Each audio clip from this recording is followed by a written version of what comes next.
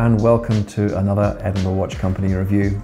On today's video we're going to be talking about and showing you an unworn Rolex Submariner non-date. You can find out more about this watch by visiting our website at edinburghwatchcompany.co.uk. There you'll see some photographs we've taken, technical specification and pricing, but if there's anything else you'd like to know, perhaps discussing a part exchange, funding the watch, then please just give me a call directly. So what we have here is one of the classic Rolexes. It's one of the sports collection that you very rarely see in shop windows and are very, very hard to get. And we're delighted to actually have the opportunity to offer you uh, this particular watch, a 2020 unworn watch. Now here at Edinburgh Watch Company, we're very, very pernickety in what we buy. We only buy watches with box and papers and we like everything to be presented as it should be. This watch was literally brought earlier this year put in a box and been completely unworn and it's been a very nice investment for the chap that we bought it from. So we have the outer sleeve, we have the outer box, we have this lovely green wave box, we have the Rolex warranty card, so that's going to have like nearly five years of warranty left on it. We have the hang tags, instruction manual, just absolutely everything. Now it varies depending upon which shops you go to, but you're probably looking around about a year to 18 months to get a non-date. You might be lucky if you get one. If you're a good customer of a dealer, then maybe you'll get one much quicker, but generally they are quite hard to get and therefore they are actually achieving a premium over list. But the watch is a fantastic, fantastic watch. So those of you watching this video today, I'm sure most of you know lots about a Submariner, but um, an absolutely you know, one of the stable models within the Rolex's sports collection, made in stainless steel, an automatic diver's watch taking you down to a thousand foot. So a really, really practical watch. The non-date is very, very popular. It's very sort of James Bond, um, very uncluttered dial, beautiful to wear, same dimensions as the date one, but we tend to find our customers are must have a date, don't want a date, it's that sort of thing. They're both equally nice and both equally attractive watches to buy. So that's a little bit of a summary. Let's go and have a slightly closer look at it. So if I go back a very long time, when I was 23, um, a Rolex Submariner was the first watch I bought. It was a watch that I aspired to own then, and I'm sure it's something that hasn't changed at all as, you know, thousands of people across the world would love to have a Rolex Submariner. And although it has been enhanced and changed a little bit, fundamentally it's still the same looking watch as it was back then for me and, and many, many years before even I was thinking about one. So it's a stainless steel watch. Um, Rolex do all the stainless steel in the house. It's what they call 904 L grade stainless steel. This style of Rolex Submariner came out around about 2010, I think, in the sub date and I think the non-date followed. So they made some changes to the watches. First of all, the case, it's got like the maxi case here, so it's got slightly wider lugs than the normal uh, Submariner.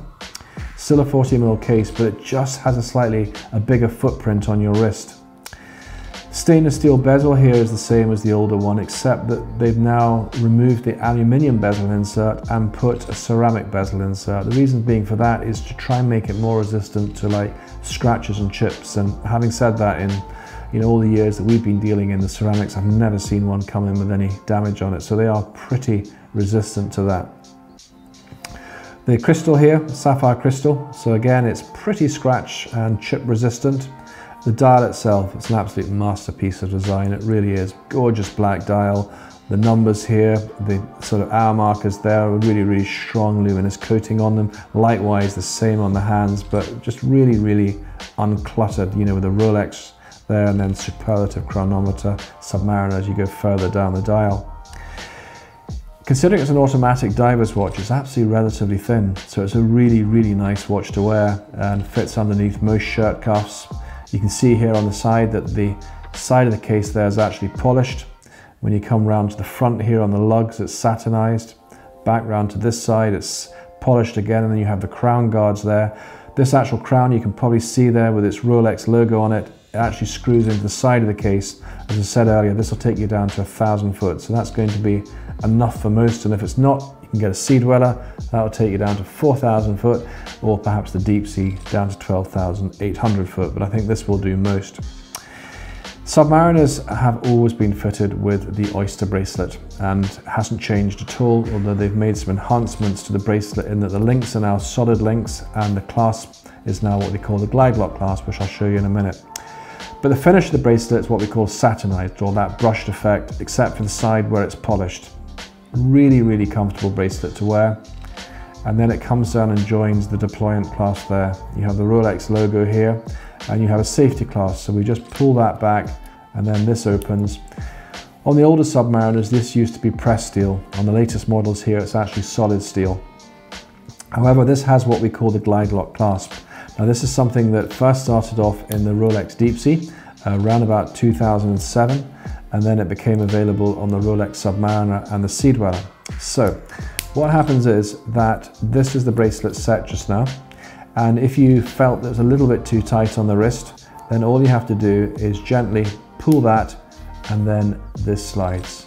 Very, very easy to do. Just get it to the exact position you want it and it locks back in again. So typically, you know, you're wearing a watch in the morning and it's really comfortable. It's a really hot, sticky day. Your wrist is expanded a bit. That's all you have to do. Pull and slide, click back in. Couldn't be easier than that. Uh, back of the case, uh, stainless steel case back, uh, again with a nice um, plinth there if you wanted to engrave it. Uh, this is like a special occasion for someone, but um, just really overall, just a fantastic looking watch and I can see why they're so popular. So let's go and have a slight uh, closer look at it on the wrist. Now my wrist is actually quite a big wrist. I've got an eight inch wrist, so this is absolutely fine for me. Um, this just locks in here.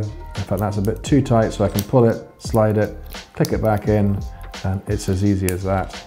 And that's on my wrist now.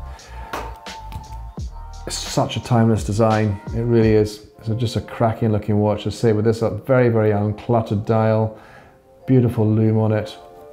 The way when you actually turn the, the bezel there, you can just really appreciate the engineering that's gone into it as the, as the ratchet goes round there. I think everything is so beautifully proportioned. You see the bracelet coming down here, it tapers down to where it joins the Glidelock clasp. New design deployant clasp there as well when the Glidelock came out. So I think it's a really, really a great looking watch. That gives you an, like there, you can see it's not particularly thicker on the wrist there. This actually shows you that's actually a 44 mil Seamaster Speedmaster I'm wearing, but again, 40, I think it's a nice size for for most wrists. In fact, here we have some ladies wearing these watches as well, so it's not just a, a watch for guys. So there we are. That brings us to the end of today's video. Thank you so much for taking the time to watch. If you're watching this on YouTube today and you love your watch videos, you may be actually looking for something we've sold before. Now we've shot maybe 450 videos and lots more coming along soon. So why not go and have a look at our YouTube channel there. You can see all the various watches we've done. But if you'd like to see all our latest collection coming in, all you have to do is just go and click there. That'll subscribe you to our channel and then you'll be notified as they come through. If you're on Instagram or Facebook or Twitter, we put our watches up there too. But remember, you can get in contact just by calling me directly. Thanks for watching. Bye bye.